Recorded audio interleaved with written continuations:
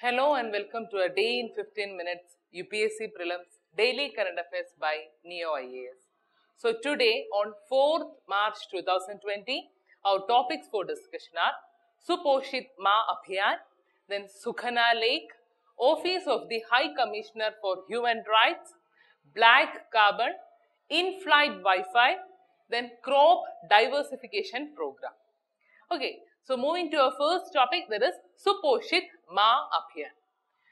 So the news is that the Lok Sabha Speaker Shri Om Birla he launched Suposhit Ma Abhiyan in Kota that is in Rajasthan. Okay. Then so this Suposhit Ma Abhiyan actually it's a scheme and it is launched to help India achieve its target of malnutrition free India by 2022. Okay, so it mainly provides nutritional support to pregnant women and also to adolescent girls. Then this Suposhit Ma Abhiyan was launched to preserve the health of future generations. So under this program, more than 1000 women are to be given food for one month. That is their criteria. That is uh, the health of the child, including medical examination, then what we can say blood tests, medicine, and even delivery would be covered under this. So please remember that it is applicable only to one pregnant woman per family. And in the first phase of the uh, campaign, 1000 kits of 17 kg balanced diet were provided to 1000 pregnant women. Okay, so 1000 kits of 17 kg balanced diet were provided to 1000 pregnant women. That, that was done in the first phase of the campaign. Uh, that is, it, uh, it includes millet flour, wheat, maize, then even jaggery, uh, groundnut, ghee, etc. Okay. So that's all. Moving to a second topic that is about Sukhna Lake. So the news is that Punjab Chief Minister promises to protect Sukhna Lake. So, uh, you know, it is located in Chandigarh and it is a reservoir at the foothills of uh, Himalayas. That is in the Shivalik Hills. So here in the map you can see its location. So this lake, it is home to several species of migratory birds like Siberian duck, then storks, cranes, etc. And also Sukhna Wildlife Sanctuary is situated in the northeast of Sukhna Lake. And it was constructed in 1958. Okay. And this lake, it has been declared as a protected national wetland by the government of India. And a major threat to the Sukhna, it is the discharge of pollutants from the neighboring areas. Okay. So that's all. Uh, uh, next topic is about Office of the High Commissioner for Human Rights. So the UN rights body to move Supreme Court on Citizenship Amendment Act. Okay. So this is the news headline. So first we have to know about Office of the High Commissioner for Human Rights. The Office of the High Commissioner for Human Rights, it is the leading UN entity on human rights. And it is also known as UN Human Rights Office and it is a department of the Secretariat of the United Nations that works to promote and even protect the human rights that are guaranteed under international law and stipulated in the Universal Declaration of Human Rights of 1948. Clear? So the office, it was established by the UN General Assembly in 1993 on the eve of 1993 World Conference on Human Rights. And the office, it is headed by the High Commissioner for Human Rights. So he is the one who coordinates the human rights activities throughout the UN system and acts as the Secretariat of the Human Rights Council in Geneva, that's in Switzerland. Okay, so the General Assembly entrusted both the High Commissioner and her office with a unique mandate to promote and protect all human rights for all people. Clear? So next about Human Rights Council. So the Human Rights Council, you know, it's an intergovernmental body within the United Nations system that is responsible for strengthening the promotion and uh, protection of uh, human rights around the globe and for addressing situations of the human rights violation and also even they make recommendations on them. Clear? So it has the ability to discuss all the thematic human right issues and situations that require its attention throughout the year. So here you have to note that it meets at the UN office that is at Geneva. So the council, it is made up of 47 United Nations member states which are elected by the UN General Assembly. And the members, they are elected for a time period of three years. Okay, with a maximum of two consecutive terms. And the Human Rights Council replaced the former United Nations Commission on Human Rights. So here please note that the Office of the United Nations High Commissioner for Human Rights, that is the OHCHR, it is often confused with HRC. Actually, it's a separate institution which presents reports independent of the HRC.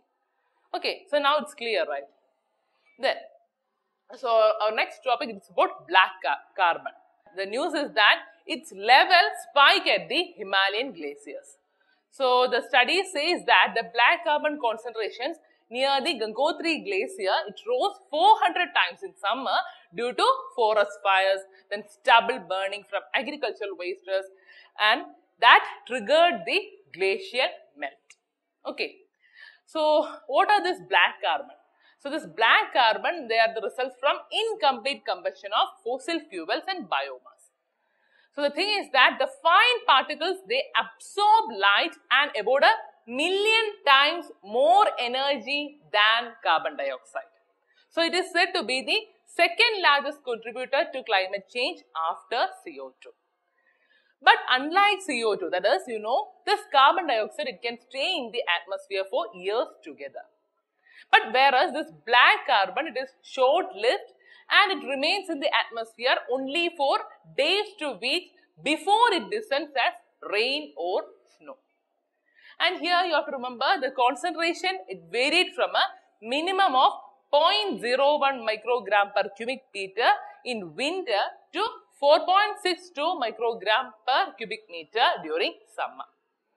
And India, it is the second largest emitter of black, uh, black carbon in the world with emissions expected to increase dramatically in the upcoming decades with Indo-Gangetic plains, it is said to be the largest contributor.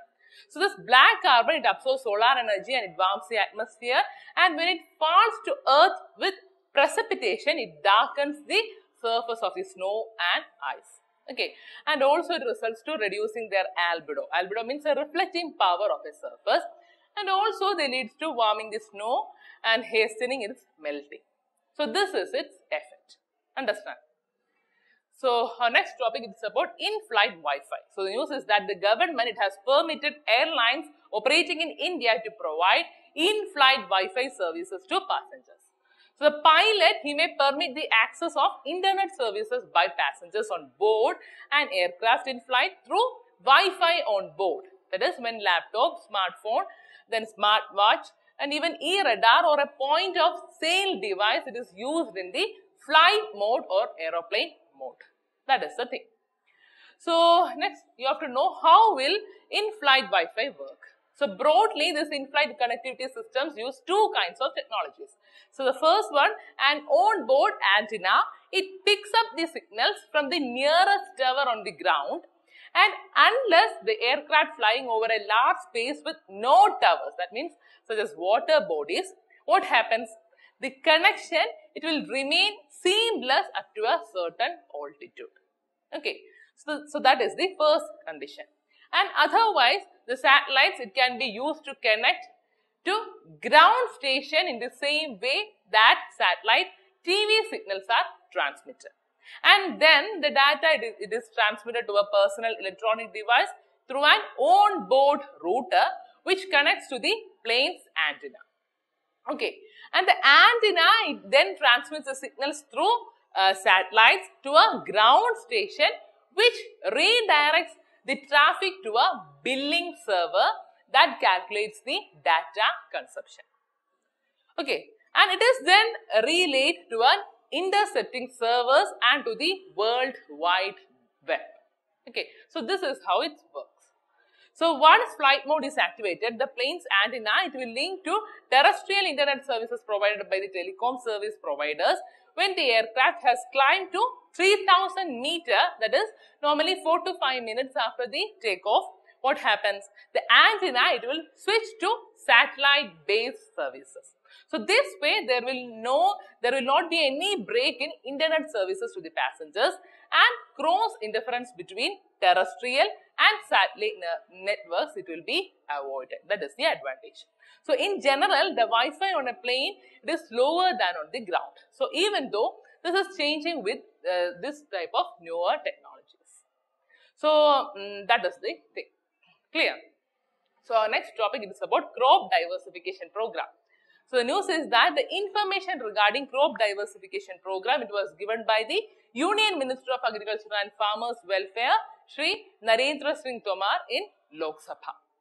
So this crop diversification program actually it's a sub-scheme of Rashtriya Krishi Vikas Yojana and is being implemented in original Green Revolution states to divert the area of paddy crop to alternate and in tobacco growing states to encourage tobacco farmers to shift to alternate cropping pattern.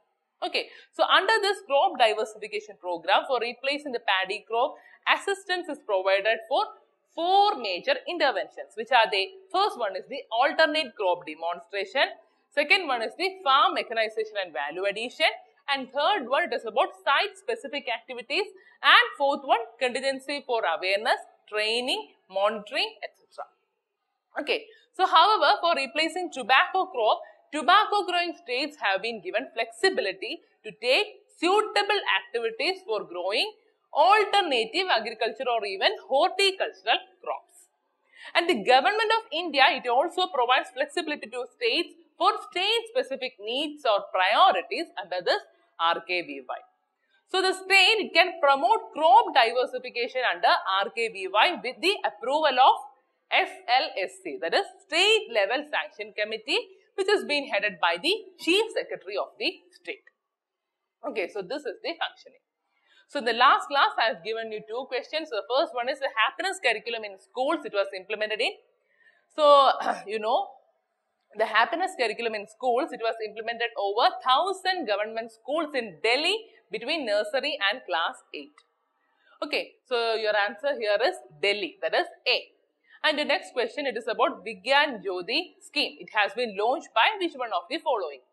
So, this scheme it is launched by the Department of Science and Technology. Okay. So, your answer is B. Then, today you have got two questions. So, the first one is KAGRA. It's a gravitational wave detector located in and your options A. India, B. Japan, C. Nepal and D. China. And the second question, it is about Nandankanan Zoological Park.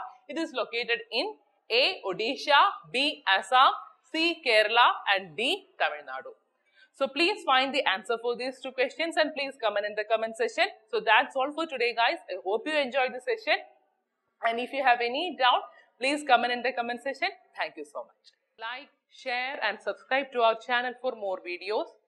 Follow our website neoiasgap.com for the detailed content and monthly prelims digest. Also join our current affairs exclusive test series through the website. And finally, participate in the daily current affairs prelims infotainment quiz at our telegram channel that is Neo IAS Prelims at 9.30 pm every day. Thank you.